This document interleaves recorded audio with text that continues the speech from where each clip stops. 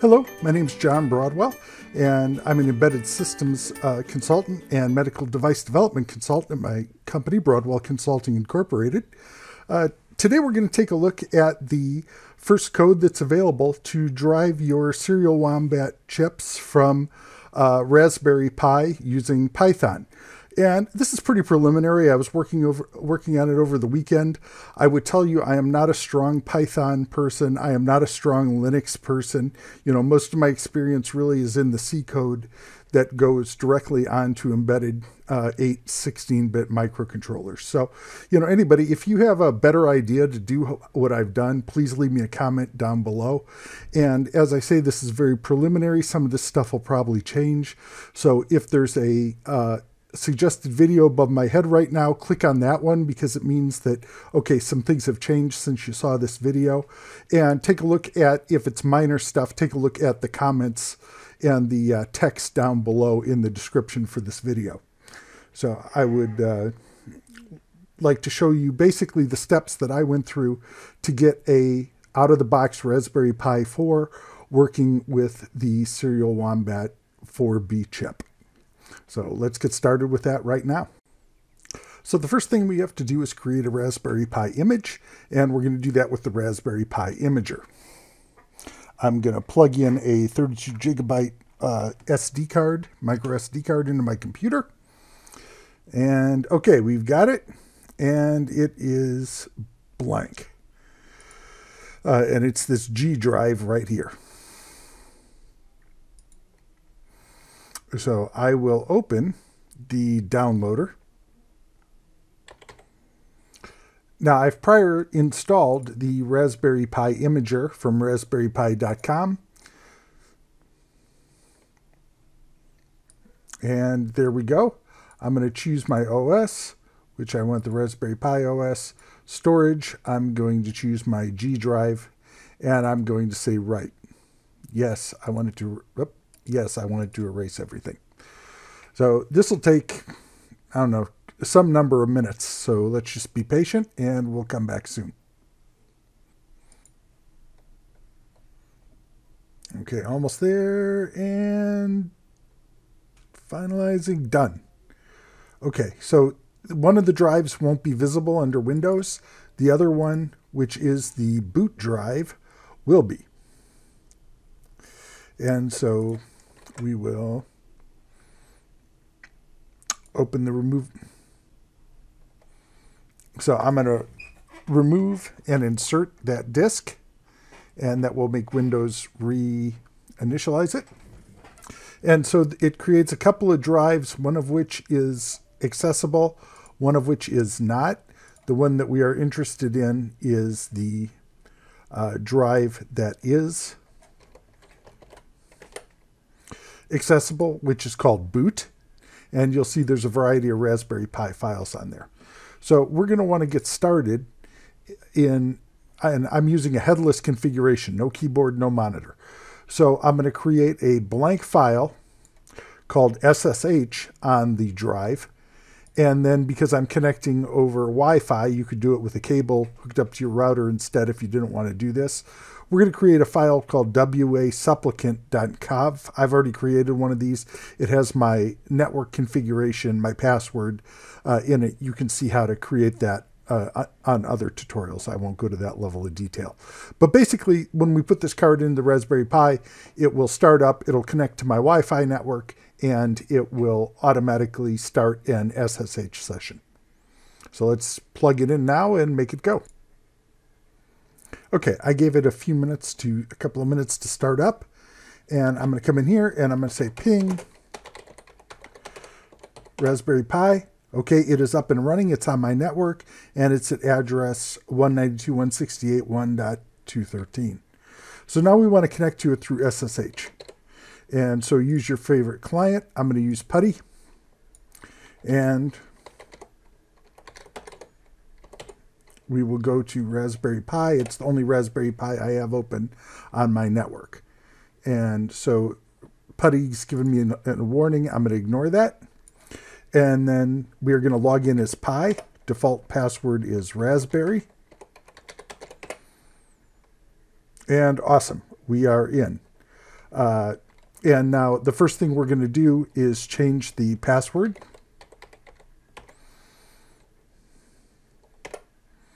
Current password is raspberry. And for our new password, let's say blueberry.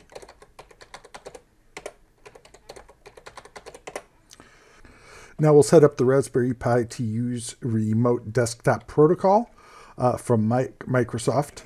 And so the first thing is we just did an, an install. So let's do a sudo apt get update.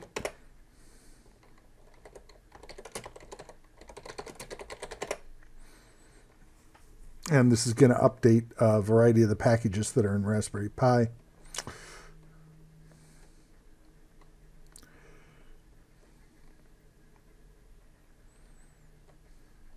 Okay, and then we'll do a sudo apt get up uh, upgrade.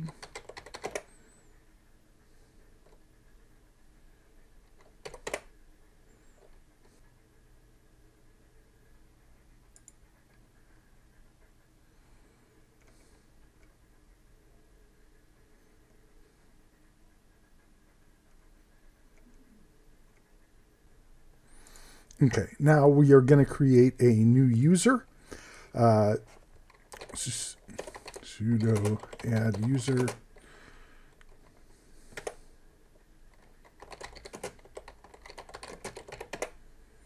John, and we will also make the password for this one Blueberry.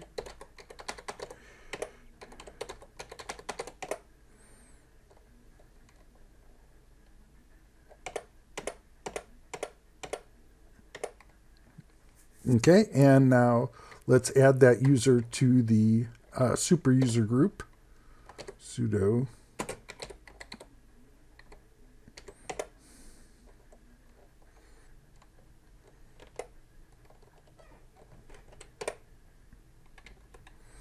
Now we will, and okay, so that's in there.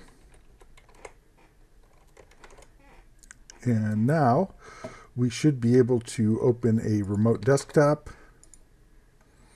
connection.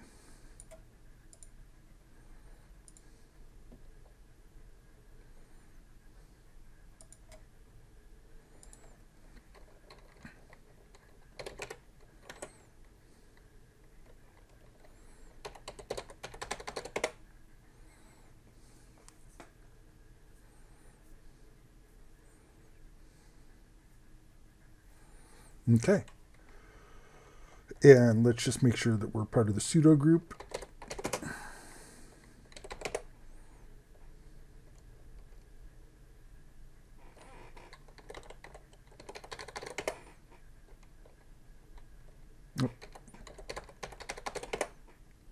Okay, and so we were able to run a command under sudo, so we should be good.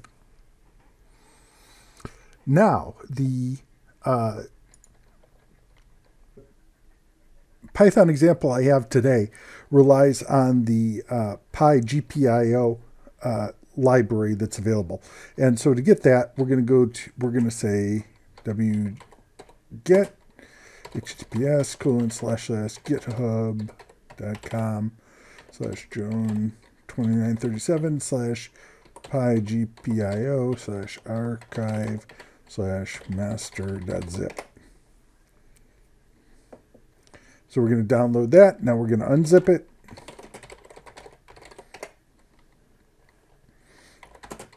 Go into the directory, make it. This will take a minute.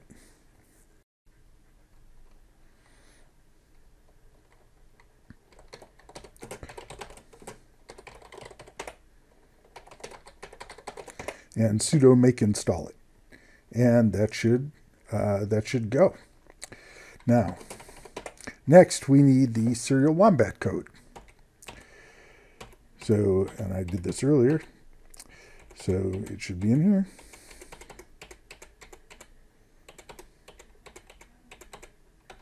So git clone https slash github.com slash Broadwell Consulting Inc. slash serial wombat Python module. Okay, so that worked. So now we can cd do serial wombat python module. If we look in here, there's a variety of different files that we can use. So let's go, yep, that's not what I wanted to do. That'll take a minute to open and close that browser. Let's open under programming the Thonny Python IDE. And then we will say load. Serial Wombat Python module, Serial Wombat I squared C example dot Python. And this is going to use the PIGPIO uh, library through the Serial Wombat uh, pigpio I squared C class. And this is going to be structured a little bit different than the way the Arduino stuff is, because there may be a variety of different ways that you want to be able to connect to a serial Wombat chip uh, based on your system. And I don't want you to have to download every single library under the sun to satisfy all the dependencies or whatever. And so in this case, typically you will import a Python file that corresponds to the low level interface class uh, that you're going to be using, which is uh, which inherits from the serial wombat chip class. And so in this case, we can say, okay, we're going to instantiate a serial wombat chip from this uh, serial wombat chip pi GPIO I squared C. And in this case, the pins that we're on are on 17 and 27. And note that those are not the standard uh, Raspberry Pi I squared C pins because we're bit banging the I squared C. And we're doing that because the, the Raspberry Pi I squared C driver does not properly support clock stretching. And clock stretching is a fundamental way part of the way that the serial wombat chip interacts with the host. While it's you know doing its real-time thing, the host may have to wait until it can generate a reply to the last message. So that's why for the first version, uh, we're using bit banged Pi GPIO. And so it looks pretty much uh, like other uh, Arduino base. And what you'll see here is that all of the interfaces, as closely as possible, the names and the parameters follow the Arduino. So the goal that I have is whether you're writing in Python or .NET uh, C Sharp or Arduino C++ or C++ for a PC or the Raspberry Pi or whatever, that those libraries ultimately all have the same interfaces. So if you see code that somebody else did or you see, you know, one of my tutorials that's written for for Arduino, you don't have to worry. You can use the uh, equivalent interfaces on Raspberry Pi under Python with a minimal amount of change. So this example is quite simple. Uh, basically, we are going to uh, instantiate a serial wombat chip. Uh, we're going to do a begin on that false, say don't do a reset. Uh, then we will read the version, the model, the firmware version. We will instantiate a servo and attach that to pin number three on the serial wombat chip. Uh, we will uh, instantiate an analog input and we'll attach that to pin number two. And we will instantiate a quadrature rotary encoder reader uh, that we will attach to pin zero and one with a 10 millisecond uh, debounce time. Then we'll read the analog. The analog is connected up to a potentiometer that we can turn, which should be interesting.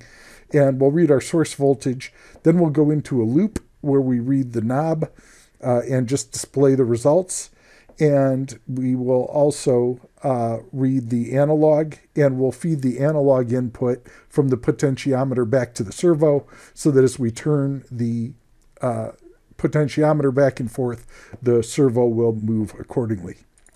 So one thing that's important to know is that in order to use Pi GPIO, it has to be running uh, in the background. So we're going to do a sudo uh,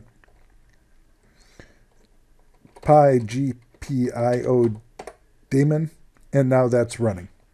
So now we hit run, and it ran. Okay, it found our serial Wombat 4 chip, uh, 4B, and now you can see it is uh, moving and reading the uh, rotary encoder, which hasn't moved, and the pot, which is set to 42,000, and the servo is uh, in place. So now we will uh, move those knobs a little bit and see what happens. So we can see here, uh, basically we've got a very simple setup. We've got our I squared C pins going from 17 to 27 to the SDA and SCL pins on the serial Wombat chip. Got our uh, bypass capacitor here, a couple of pull-up resistors, uh, the rotary encoder, which is attached to pins 0 and 1, the potentiometer, which is attached to pin 2, and the servo, which is attached to pin number 3. And we're driving the servo off of a USB battery. I wouldn't recommend driving servos directly from the Raspberry Pi power supply. So if we turn the rotary encoder back and forth, we can see that the counts are moving appropriately on the uh, terminal. And if we go below zero, then we roll over to 65,000. And similarly, if we adjust the potentiometer, we get a voltage range, which is then fed back to the servo, and the servo moves appropriately. So that's about all there is for the first demo. Uh, you guys are welcome to download it and give it a try.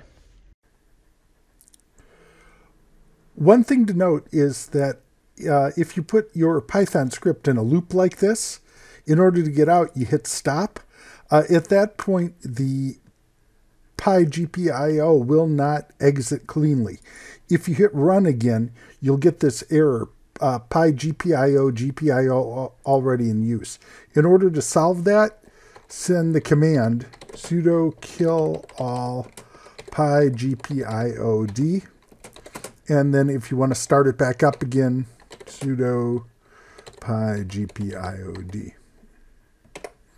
So that will kill the, the service and then start it back up and you hit run and it will work again. So I hope you found this video useful. I hope you're excited about uh, the Python and uh, Raspberry Pi support finally being available. Uh, again, I'm not an expert in either of these areas, so if you see something I, I've missed, uh, let me know. And at this point, the library is very uh, preliminary. It does not have all the features that the Arduino library does, and does not have a unit test script. So, you know, if you're using it at the uh, as of you know March of 2022, uh, it's kind of bleeding edge. Don't be afraid to get onto the GitHub repository and leave bugs if you found bugs in the code. Leave issues. Uh, if you have uh, just general support requests, uh, then I would recommend uh, either leaving a comment on this video, that's how I respond the fastest, or send me an email at help at serialwombat.com. Usually there's a few days delay on that one. Again, uh, you know, I, I prioritize the YouTube comment help requests because everybody can see them and it's generally helpful to the community. I'm probably not the right person to ask with your deep level Raspberry Pi or Python questions. Uh, I would hit the internet on those and see if you can find some answers from people who are a little more experienced than I am in those areas. But uh, if you have a serial wombat specific question, then I will definitely do the best I can to answer it. So that's all I have today. Uh, I hope you guys are excited about the forthcoming Serial Wombat 18AB chip and look for a Kickstarter that will be coming in April on those. I certainly would support, would appreciate your guys' backing. And then sometime later this year, after the Kickstarter rewards are fulfilled, then we will be selling that new exciting 18 pin uh, chip on Amazon. So looking forward to that very much. Uh, until we talk again, keep making stuff and keep having fun. The Serial Wombat firmware is available on GitHub and is constantly being updated. Subscribe below so that you can see the latest features and videos that come out as we fix bugs and add new features. The Serial Wombat open source project was created by Broadwell Consulting Incorporated. Broadwell Consulting Incorporated provides help developing medical devices with a focus on developing embedded firmware, which is compliant with IEC 62304, ISO 14971, and ISO 13485, as well as remediation assistance for products already in production. For more information, contact John at Broadwell Consulting. Support requests for Serial Wombat should be sent to help at serialwombat.com and will be answered on an as available basis. Also, feel free to leave your question in the comments below.